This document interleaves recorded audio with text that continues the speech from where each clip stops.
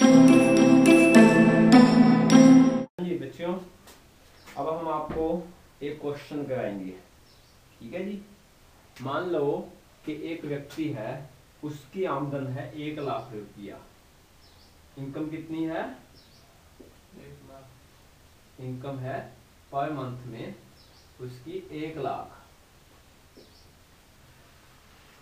Per month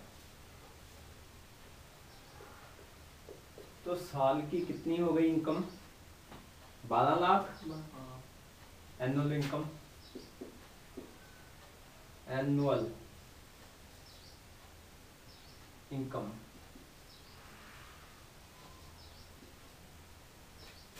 बारह lakh.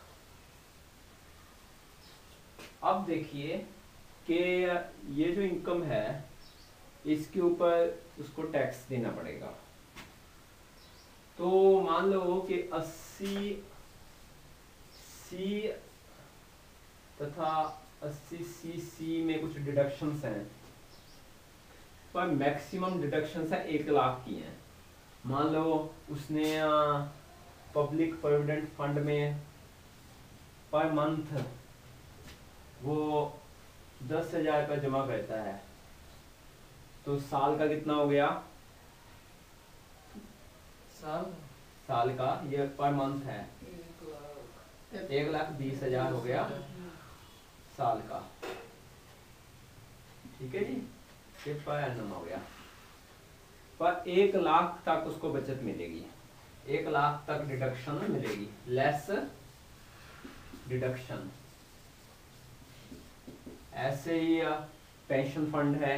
LIC में डालता है पैसा उसके लिए। बच्चों को पढ़ाता है। उसके लिए बहुत सारी डिडक्शंस हैं जो 80 में चलती है। सेक्शन है। तो अब एक एक लाख बीस हज़ार या एक लाख जो भी कम है। एक लाख बीस हज़ार ज़्यादा है एक लाख कम है तो एक लाख घटा देंगे। एक लाख बीस हज़ार नहीं घटाएँगे एक लाख ज़्यादा जो जितनी भी घटाने वाली चीज़ें हैं ना बचत है नेशनल सेविंग सर्टिफिकेट में पैसा डालता है पीएफ फंड है पेंशन फंड है एलआईसी में डालता है, कोई और चीज़ के लिए इन्वेस्ट करता है पैसा, जो 80 में आता है तो उसको घटा देंगे। तो कितने हो गई एक लाख दस हज़ार हो गई। क्या करता है। एक लाख दस बारह लाख है। बारह लाख में से एक लाख कटा दो ठीक है? ग्यारह लाख रह गया ठीक है? करता है। ओके?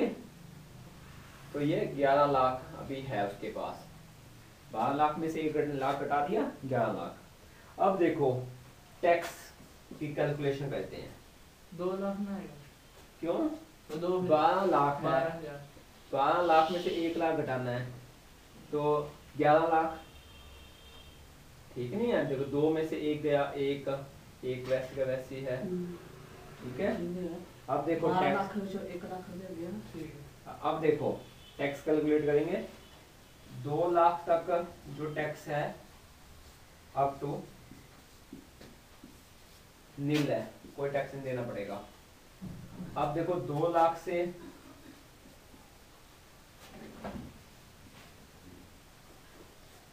दो लाख से है, पाँच लाख। पाँच लाख। तो इसके ऊपर कितना हो गया? दो लाख एक से दस परसेंट है। टैक्स हो गया इसका तीस हज़ार। अब देखो, पाँच लाख से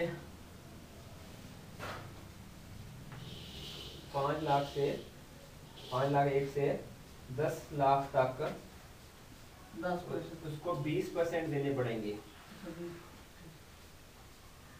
तो देखो दस में से पाँच गया पाँच लाख पाँच लाख का पाँच। पाँच पाँच लाख का हो गया दस परसेंट तो हो गया पचास हज़ार बीस परसेंट हो गया एक लाख। अब उसका इससे भी ज़्यादा है। उसका है दस लाख से कितना है उसका? ग्यारह लाख तक। इसके ऊपर तीस परसेंट लगेगा। एक लाख है। है? देखो ये देखो ये ये वाला ना ग्यारह लाख है। ये जो उसकी इनकम है ग्यारह लाख है। दस लाख से ग्यारह लाख तक है तीस परसेंट है। तो इसमें से ग्यारह लाख में से दस लाख तो घटा दो। एक लाख आ गया। एक लाख के ऊपर तीस परसेंट। एक लाख के ऊपर अगर हम तीस परसेंट निकालें तो तीस हज़ार। ठीक है? तो ये तीस हज़ार है।